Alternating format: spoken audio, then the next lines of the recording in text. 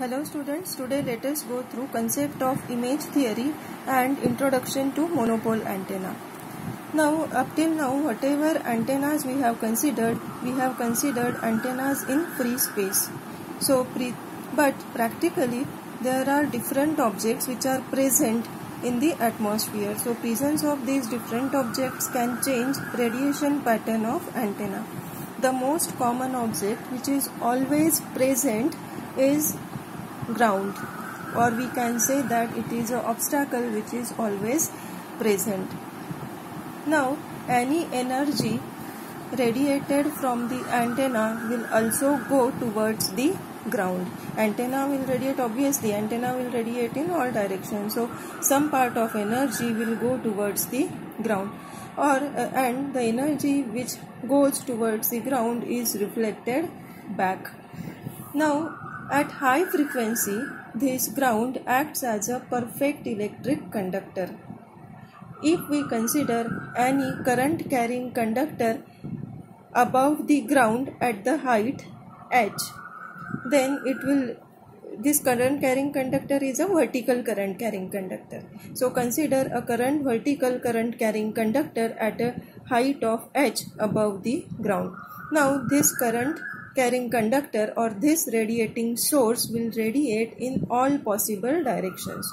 So if we measure radiated field or radiated energy, radiated waves at point P1, then at point P1 there will be radiations, direct radiations from uh, source as well as reflected radiations from the ground. So at point P1 there will be summation of direct waves as well as reflected waves from the ground.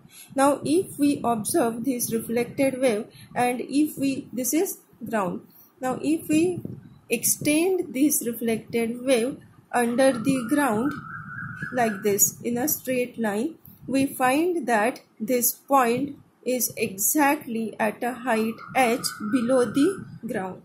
So we can imagine there is a virtual source at a same height h below the ground okay, which emits same waves. Okay.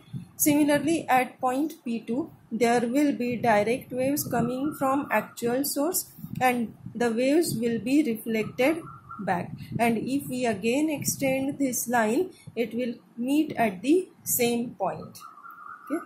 So we can consider this as a virtual source. So at point p1 it will appear that waves are coming from actual source as well as from imaginary point at the which is at the same height below the ground.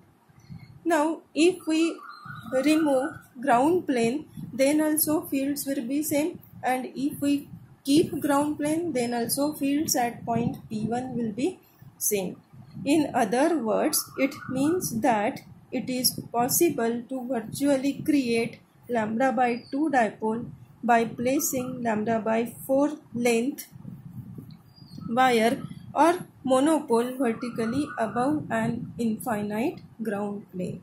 And this theory it is called as image theory.